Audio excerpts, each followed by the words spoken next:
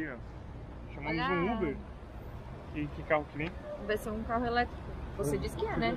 Um BID Aqui- F3 Aqui cinza. tá, é, tá dizendo que é um carro elétrico aqui. Que a gente nunca viu em outros lugares.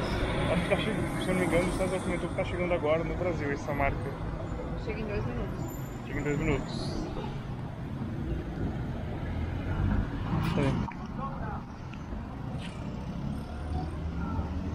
É.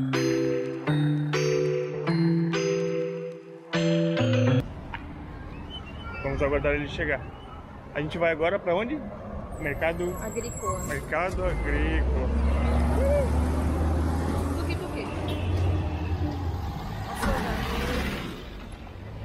Eu acho que pra almoçar lá, o pessoal comentou que tem comidas lá. Hoje o Giba, hoje foi o teu dia, né? De querer ficar no quarto até mais tarde. Hoje eu tava com preguiça. Que era eu, né? A inimiga do rolê. Mas Jéssica não conseguiu me convencer.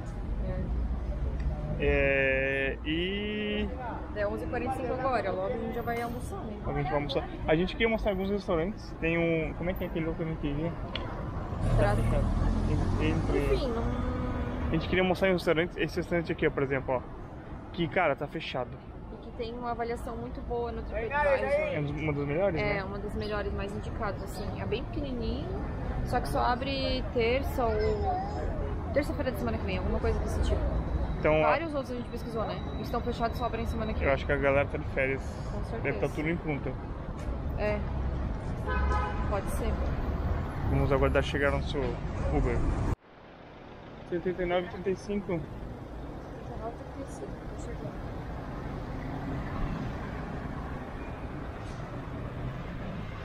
Tem um ônibus vindo aí.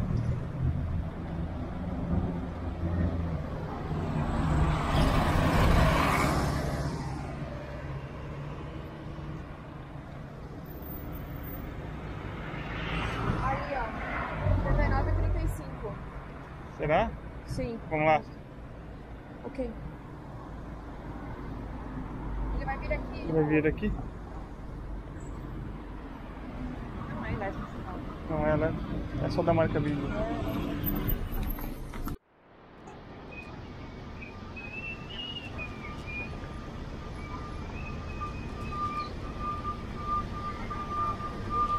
O Mercado Agrícola de Montevidéu, também conhecido como MAN, é um mercado público localizado no bairro de Cordón, na capital do Uruguai.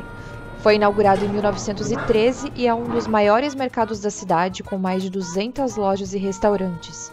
O MAN é um destino popular para moradores e turistas que buscam produtos frescos e locais. O mercado oferece uma variedade de frutas, verduras, carnes, peixes, queijos, doces e outros produtos, também há uma variedade de restaurantes que servem comida típica uruguaia. Man é um lugar animado e colorido. O mercado é cheio de vida, com pessoas comprando, comendo e conversando. É um ótimo lugar para experimentar a cultura e a culinária uruguaias. Funciona todos os dias, das 9 às 22.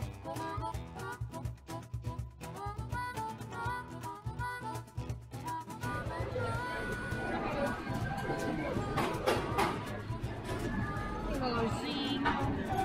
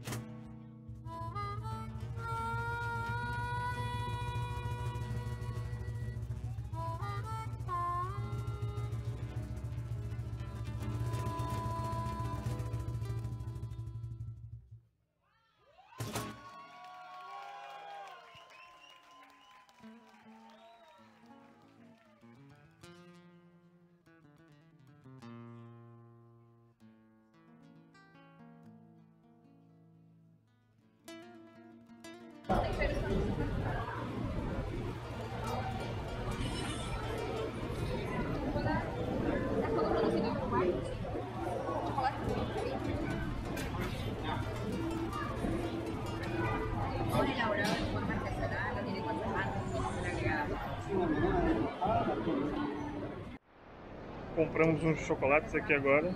Deu algo em torno de 180 pesos. Em conversão deu 25 reais. É, mas são duas barrinhas pequenininhas. É, bem pequenininhas. É só para provar mesmo o chocolate. É o chocolate daqui mesmo. Ó. São duas aqui. É uma de frutas com chocolate? Isso, é frutas secas. Frutas secas com chocolate e a outra. Quer provar? Deixa eu provar agora. Um snack artesanal.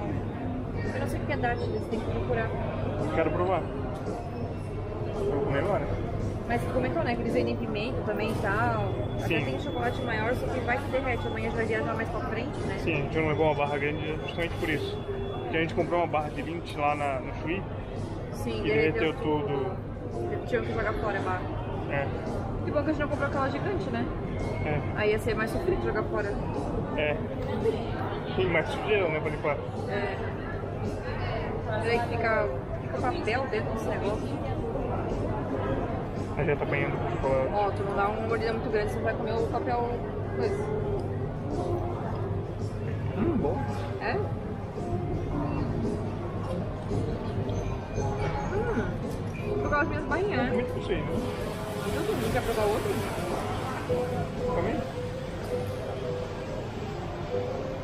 Ai, tá muito grudado esse papel alumínio.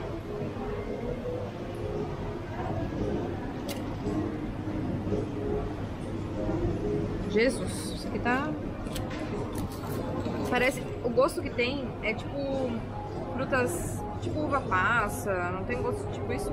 Frutas secas. Parece uma barrinha de frutas secas.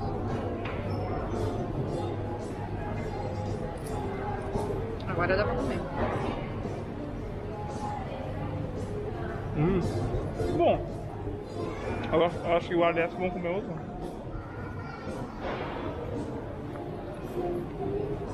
E a outra deve ser assim com chocolate. Eu seguro essa daí. Guardar assim? Não.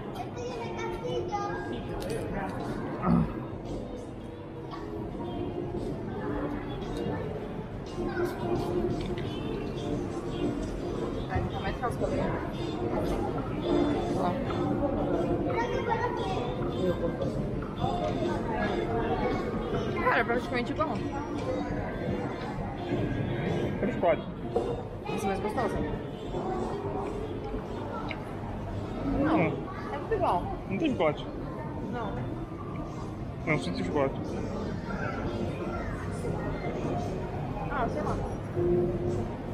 É bom, mas. Dá uma proposta sem essa. 180 dá quanto? 25 reais. As eram bem mais caras, bom que eu já comprou as mais caras. É. A loja da New Balance. Tem uma loja de câmbio aqui também.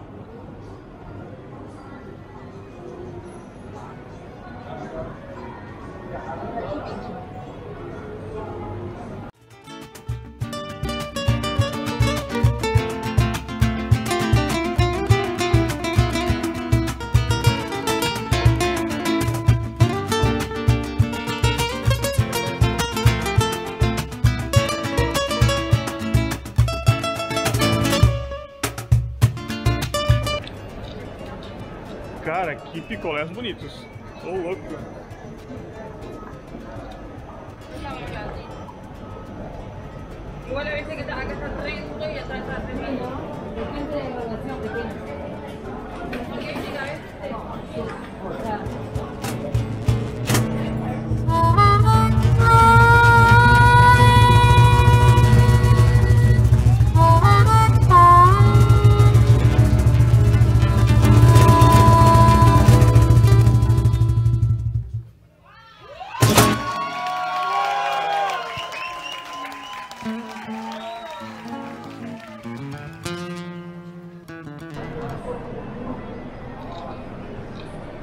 Uma dica, caso você venha a Montevidéu, que vale a pena vir visitar o mercado agrícola. Cara, que tem algumas feirinhas, tem uns lugarzinhos que vende alguns outros produtos. E pelo que eu vi, não são caros não, são até mais baratos que a gente viu no mercado, no shopping. E a comida também parece ser boa.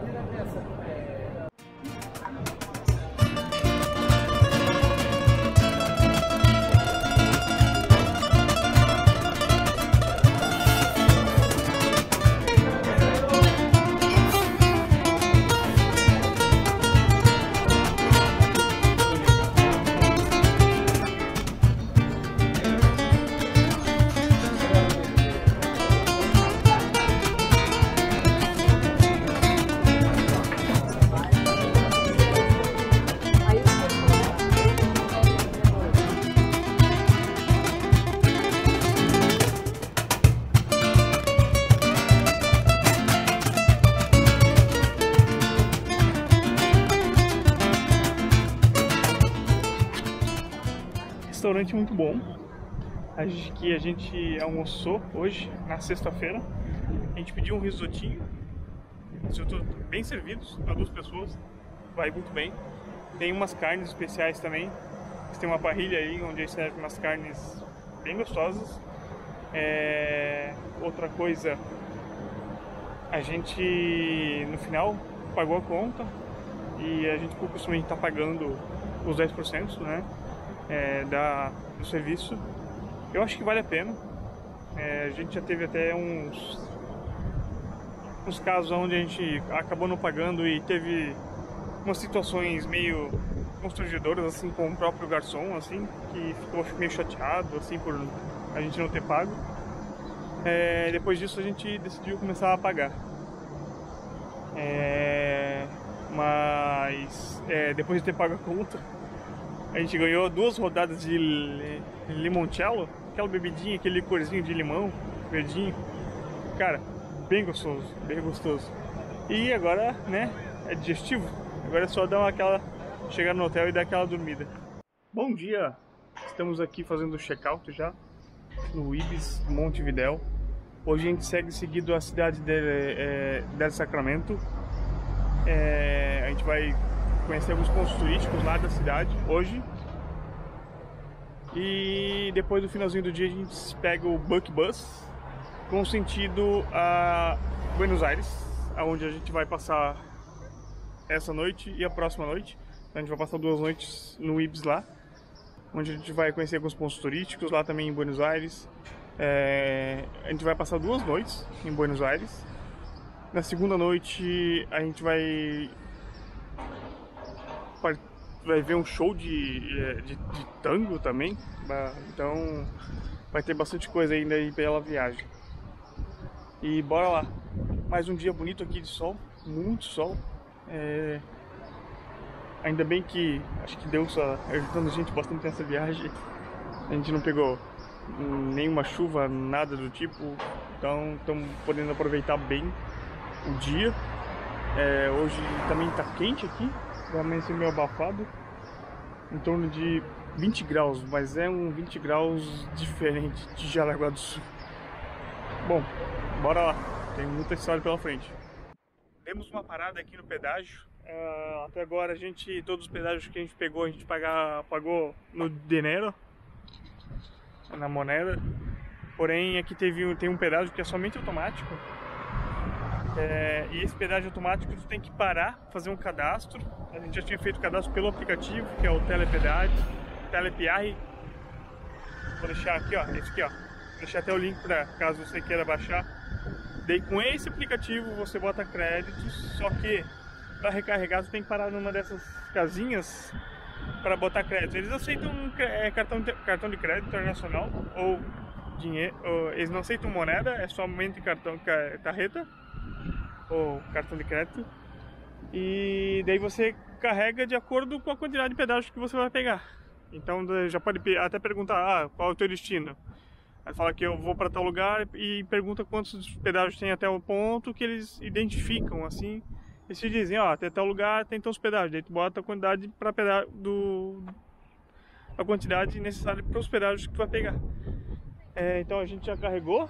Tu ganha uma tarjetinha tipo da de pedágio do Brasil ali, ó. Já colamos ali. Eu colei logo abaixo da que a gente, a gente tem da Velo e do Brasil. Então agora a gente consegue seguir viagem. Até um ponto importante. Quando a gente entrou no Brasil, era. tinha. Era um dia que tava meio chovendo e tinha muita gente parada no pedágio. E o guarda até liberou a gente para esse primeiro pedágio. Mas agora a gente não, não teve como conseguir pa, é, passar sem ser.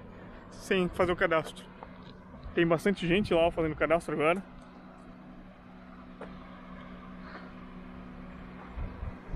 Ah, até outra coisa, tipo, cara, aqui as estradas são muito boas, muito boas mesmo, e tu consegue andar bem. É, e diferente do Brasil, por exemplo, aqui tu anda é muita reta, muita reta, é reta sem fim. Tu vê o horizonte e isso e vê estrada. É, e as ruas são bem boas. Bom, seguimos mais uma hora mais ou menos até, até Colônia e até lá.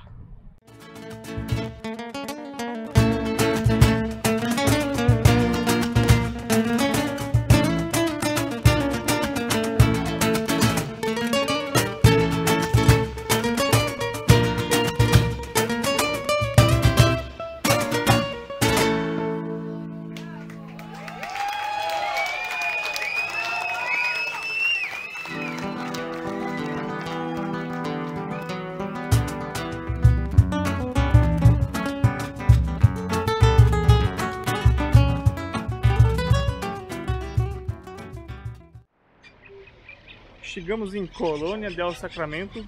Aqui é uma cidade histórica. Teu? Aqui é uma cidade, é a cidade mais antiga do Uruguai. É aqui onde tudo começou. Então é uma cidade com bastante arquitetura espanhola. E cara, como é que tem esses periquitos aqui? Tudo Brasil.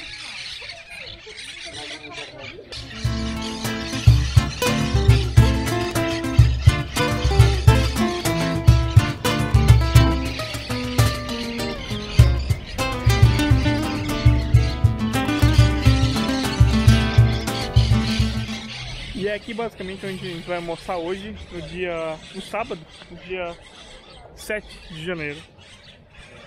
Bem legal. Conseguimos estacionamento aqui na, na praça. Ali estacionado.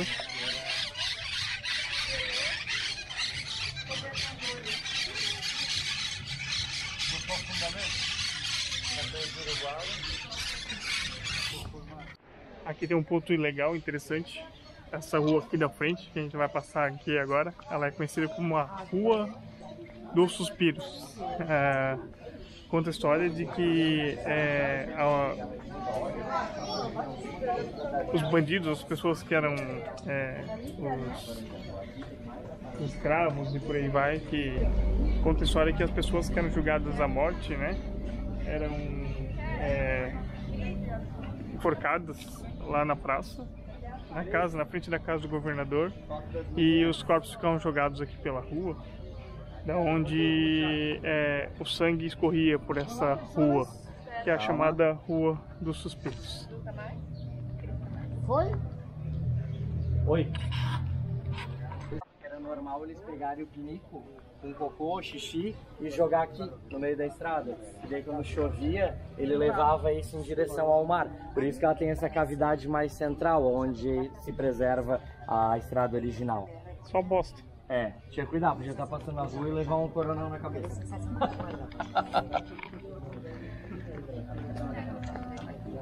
Depois o moreno o moreno.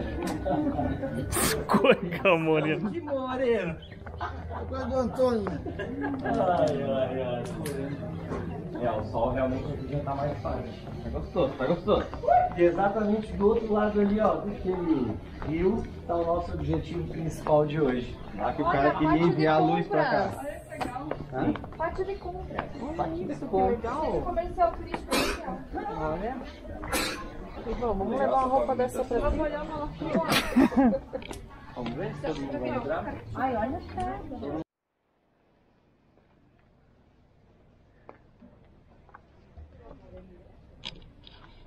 Então, a gente entrou nessa loja aqui e a gente ganhou.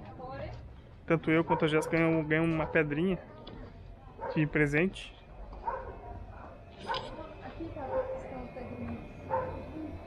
Olha aqui as pedrinhas. Aqui tá as pedrinhas que a gente ganhou. Olha a luz que bonitinho o sol. Colônia do Sacramento é uma cidade histórica no sudeste do Uruguai, localizada no lado oposto do Rio da Prata de Buenos Aires. É conhecida pelo seu bairro histórico calcetado e repleto de edifícios da época em que era uma colônia portuguesa. A cidade foi fundada em 1680 por Manuel Lobo, governador português do Rio de Janeiro, e foi um importante porto comercial até o início do século XIX. Colônia do Sacramento foi declarada Patrimônio Mundial da Unesco em 1995. A cidade é um destino popular para turistas que vêm para explorar sua história, cultura e arquitetura. Não deixe de conferir alguns dos locais como Portão da Fortaleza, Cádia de los Suspiros ou Rua dos Suspiros, Farol de Colônia do Sacramento e o Museu Histórico Nacional de Colônia. Colônia do Sacramento é uma cidade encantadora que oferece uma combinação de história, cultura e beleza natural. É um destino perfeito para um fim de semana ou uma viagem de um dia.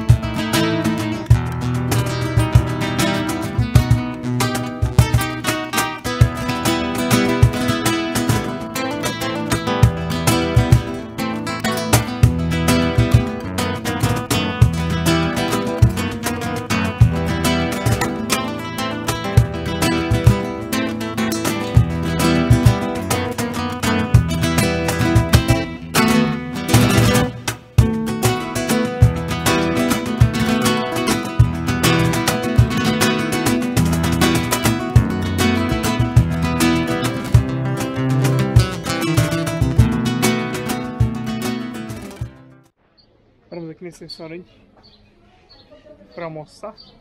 A gente já tinha reservado aqui, tinha, nós, a gente já tinha reservas aqui no restaurante, a gente vai almoçar. Depois da tarde a gente vai seguir é, para deixar os carros no estacionamento e às 3 horas a gente vai em direção ao Buck Bus, Book Bus para pegar a balsa até Buenos Aires. Bem bonita a cidade. Bem histórica. E outro ponto interessante, tanto aqui quanto em Montevidéu, né? Tipo, todas as ruas têm é, são bem arborizadas, tem bastante árvore. Isso é quase que uma, uma marca registrada aqui do Uruguai. Né? Paramos para tomar um sorvete. Para dar uma refrescada, tá bem quente aqui, 28 graus. Bem E na Argentina é pra estar mais? Bastante, é. E na Argentina é pra estar mais quente ainda. Pensa. Ela, ela é de outra área, né? A gente em relação a preços, aqui em Colônia é mais barato comer comida, essas coisas do que Montevideo, bem mais barato. É, nosso almoço hoje deu em torno de 900 pesos? Uhum. 1.007 pesos uruguaios, o que convertendo dá mais ou menos uns 145 reais. A alimentação mais barata, né? alimentação bem mais barata. Mais barata do que o McDonald's também, né? Sim, sim, bem mais barato que o McDonald's. E comemos filé mignon. É, isso aí, e comemos filé mignon com batatas espanholas. Batatas espanholas? Batata.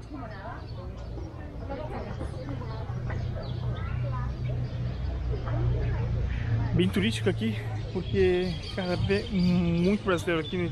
Tá mostrando numa parte que o pessoal para pra mostrar mesmo, na cidade de Velha.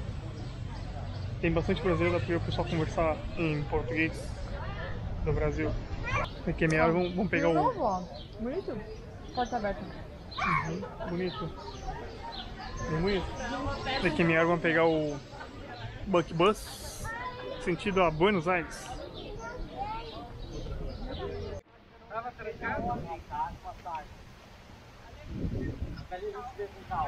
Aqui a gente tem que apresentar. A gente tá indo, acabou de estacionar no estacionamento próprio, né? 300 e... dá mais ou menos 50 reais por dia. É, outra coisa importante pra falar é que a, a gente tem que, a gente pode, né? Cada adulto pode levar uma mala a ser despachada de 20 quilos e mais uma mala de mão. Na mala de mão não pode levar gel, é, coisas de gel, coisas líquidas, aparelhos cortantes, né? Na mala de mão, mas a despachada pode. E criança pode levar uma mala de 10 quilos. No nosso caso, a gente tá levando. Fala aí, amor. No nosso caso, a gente tá levando uma mala só. Pra despachar. Ou levar na mão, vamos ver como é que funciona aqui. Mas a gente juntou tudo numa mala só. E uma mala descosta. Uma mochila descostas e duas bolsas vazias. Caso a gente queira trazer alguma coisa de volta depois, né? E aqui a gente tem que apresentar todos os documentos. É, passaporte, é, Como se fosse uma aduana, né? isso aí, passaporte, tudo que for, documento de identidade, o seguro viagem. É, é igual como se fosse uma aduana, porque a gente vai estar cruzando, entrando em outros países. Então aqui basicamente é a aduana da Argentina. Isso aí. A gente não sabe quanto tempo exatamente vai levar a viagem. A gente acha que uma hora e meia, mas a gente conta pra vocês. Vamos, vamos, Argentina.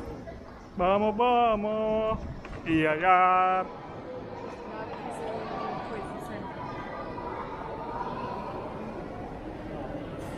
Desliga agora a câmera. E tá com as passagens aí, Jéssica?